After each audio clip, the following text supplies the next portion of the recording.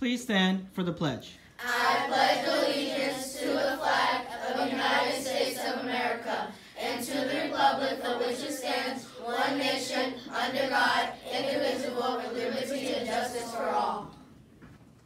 Please remain standing for the Kids at Hope pledge. I'm a kid at Hope. I'm just as smart and capable of success. I dream to the future, running with those dreams every day. As an adult and a treasure hunter, I am committed to search for all the talents, skills, and intelligence that exist in all children and youth. I believe all children are capable of success, no exceptions. Hey little Indians, our story today is I Am Peace, a book of mindfulness. I love this story so much. Yesterday, we read about Sebastian overcoming his challenge with exercise. Our story today offers other ways to find peace when times are tough. Try a couple of the suggestions from the book. What do you notice?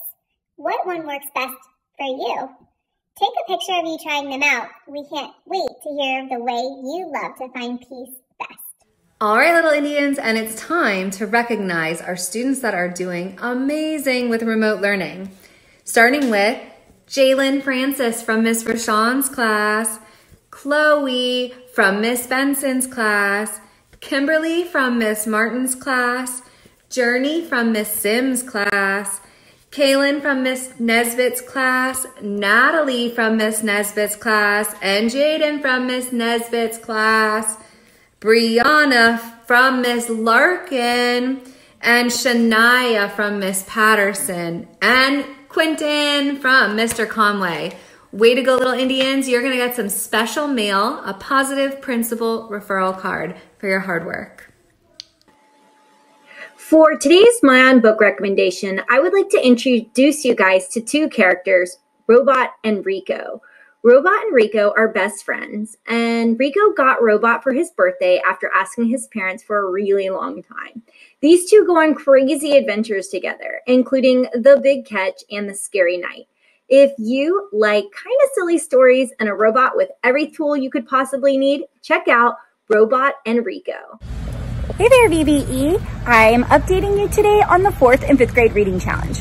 Fourth grade, so far 13 of you have passed AR test this week, which means you've earned Cora redoing my hair and you're almost to Cora being able to do blush and foundation. As for my fifth graders, it looks like four more of you have passed AR tests, so I owe you some birdies.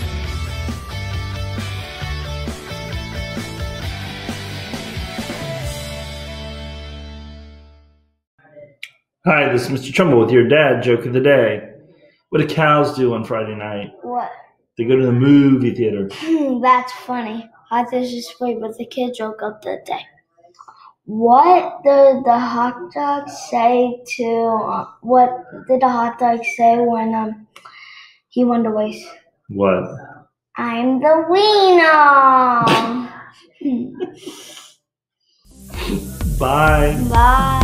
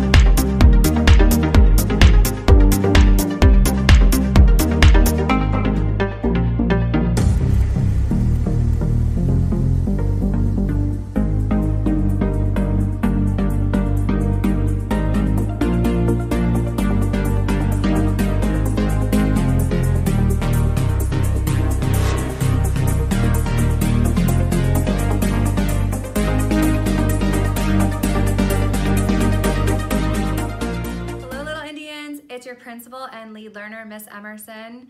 And just your daily reminder if nobody told you today that they love you, know that I love you every day, always, and forever. Make it a great day or not, little Indians. The choice is yours. I hope you make it a great day.